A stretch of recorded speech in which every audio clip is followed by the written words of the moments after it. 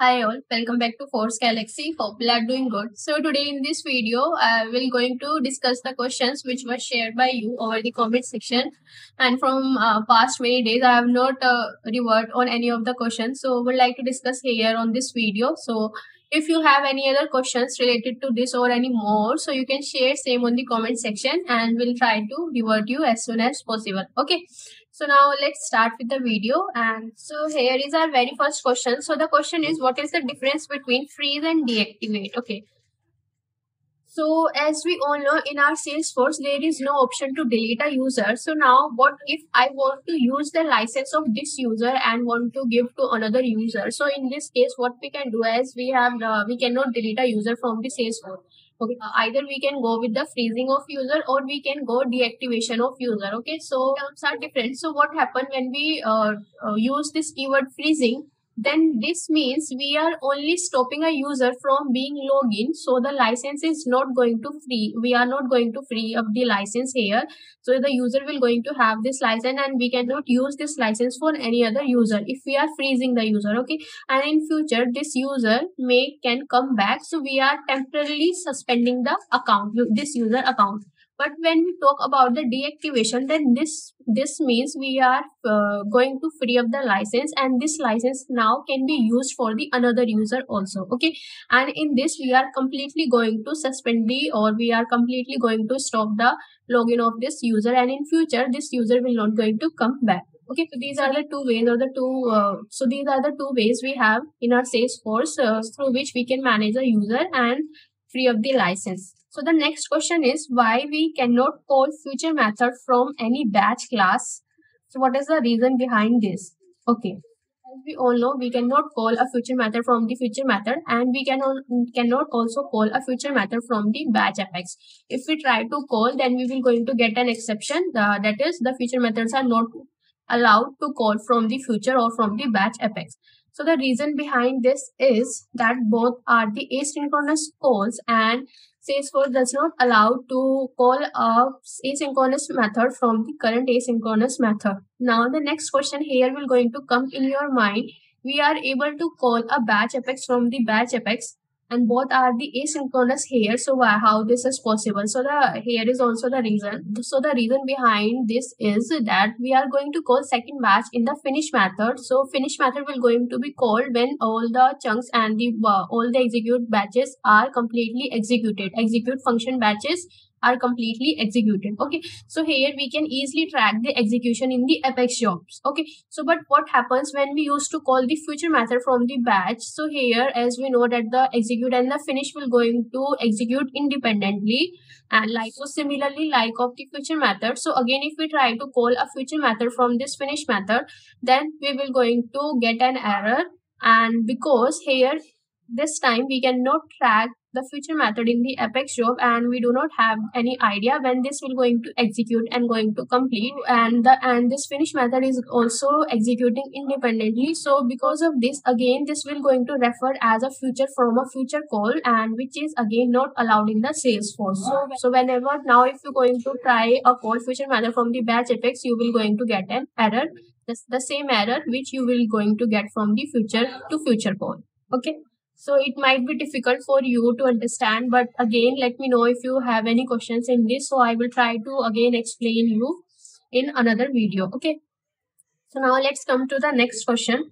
So here the next question is, can we assign more than one role to a single user. So in our Salesforce, we can assign only one role to a single user. And if you try to uh, assign him another role, then the previous role will be remove from tim okay so and if you want to so basically why we provide these roles to the different user? Because of the access to the records and also if you want to provide more access to the user then you can move to the sharing setting in the sharing rules and there you can add the more permission for the single user. But the role can only be one for a one user.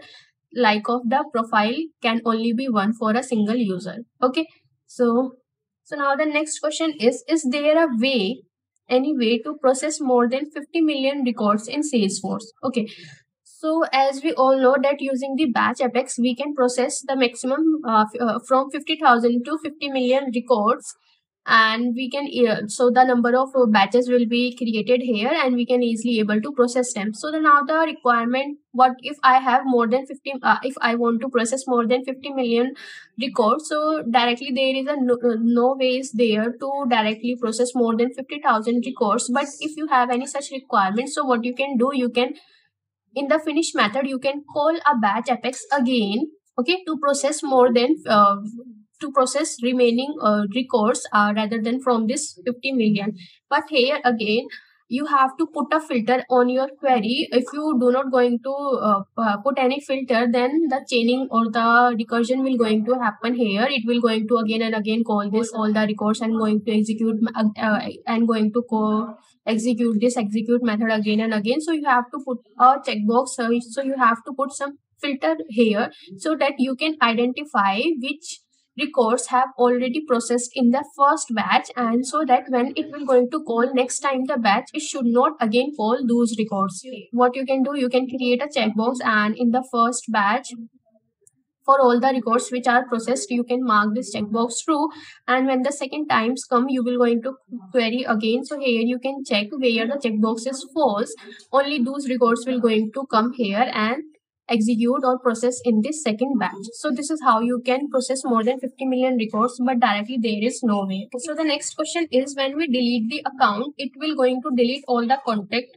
Also will it going to delete uh, all the opportunities also okay so uh, if you will going to delete an account and as we know that the account is have the master detail relationship with opportunity but it has a lookup relationship with the contact okay so but when we going but when we going to delete this account then all related contact and opportunity will going to delete it. So the opportunity obviously going to delete because there is a master detail relationship. So if the parent is not there so the child will also going to get deleted. But in case of contact there is a uh, special uh, special relationship they have or the special connection they have what we call as cascade delete so it, in this, what will happen if we delete the account, then the respective contacts will also going to get deleted here. So here, if you delete, so the answer is yes. If you delete an account, contact and opportunities will going to get deleted. Okay. And if you're going to undelete the account, then again you will going to get all its related contact and the opportunities back or all will uh, automatically going to get undeleted and you will able to see it with the account. So the next question is I have two user, user 1 and user 2. Okay, user 1 is up in the role hierarchy and here OWD is private but the user 2 is able to create on account object. How it is possible? Okay. So here you are saying that on the account object user 2 is having the create permission. So create permission can only be given on the profiles and the permission set and here you also talk about the OWD set as private and user one is up in the hierarchy. So how it is possible? So how it is not possible? So my question is this. Uh, I think uh, your either your question is incomplete or you want to say anything else which I am not getting directly. So let me tell you here. User 1 is able to see all the records because it is up in the hierarchy. So if you have OWD set as private also, but because of its role hierarchy, it's one is able to see the all the records of user two because of because this is up in the hierarchy. So here it it doesn't matter whether the user two has create permission on the account object or not. Okay. So let me know if there anything else you want to know in this question. Let me know if you have any other query in this. So now the next question comes is what are cross object formulas? So all uh, so we all know that the formula fields in which we used to give some expression and based on this expression values are calculated and we are able to see these values and these formula fields are the readable fields, read only fields. Okay. And one more point that is on these in the database. These values are not saved in the database. Only the expressions which we will going to provide in this formula field are going to be saved in this database okay? Not the values which are calculated because these values goes on change on basis of the, whenever we change the expression values which are used uh, whenever we will going to change this expression fields which are used in this expression okay? So only the value uh, expressions are saved in this database not the formula field values okay so what are cross object formulas? So, so the cross object formulas are nothing. These are only, we are getting the field values from the related objects. Like suppose we have contact and the account and on the contact we have account lookup and I'm going to create one formula here. And in this formula, we will going to get the value from this lookup field that is from the account field. Like I want to uh, show the account first name. So here the related object is account. So from this account, we will going to uh, pick up this first name for value. So this is when we are going to get the values from the related object or from the lookups, then we will going to consider them as or are going to call them as the cross object formulas. Okay, here we are uh, calculating or creating our expression from the related objects. So now the next is can we use bucket field to hide the pick list value?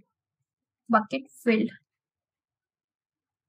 So bucket field we normally used in our Salesforce report. So this bucket field will not going to work when we have the condition to hide the pick list value. So if you want to hide the pick list value here, we have to go to the record types. Okay. So in this record types, we get the options to which page layout uh, you want to show this different pick list values.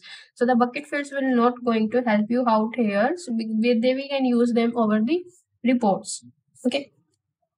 So now the next question is what will happen if a user does not have field permission on object if we use with sharing keyword. So let me repeat this again. What will happen if a user does not have field permission on the object if we use with sharing? Okay. So let's suppose you have a apex class here and here you have used this with sharing keyword. Okay. And in this you have used uh, any object and um, and this particular object who will going to run this trigger is not having the access of the fields which we have used in this class okay? But as we know that the apex class runs in our system mode by default okay? So by default if there is no keyword with sharing or nothing is added with this class then the without any exception the user will successfully able to execute this trigger and this he will not going to get any exception here. But what if we use with sharing keyword again Again, using this also, the user will not going to get any exception and he will successfully able to execute this trigger. Because using this with sharing keyword, only the sharing rules are enforced. That is, the record level access are checked, not the field level or the object level permission are checked here. So again, if as per your question, what will happen if a user does not have field permission on the object if we use with sharing? So nothing will going to happen. The user will successfully able to run all the classes and the triggers and all. Because using with sharing it will not going to check for the field permissions okay? So if you want to check for the field permission also then you have to go with the schema functions where you will going to check for the field permissions okay? Then only you the user will not able to going to execute this trigger and apex so these are the few questions which I have discussed with you today. Again, if you have any more questions to share with me, you can share over the comment section and we'll discuss with you. And if you have any queries, do let me know in the video. Uh, do let me know in the comment section and we'll come back in the next video. So the next video is also the question answer video. So stay tuned. We'll meet you soon in the next video. Till then, take care. Goodbye.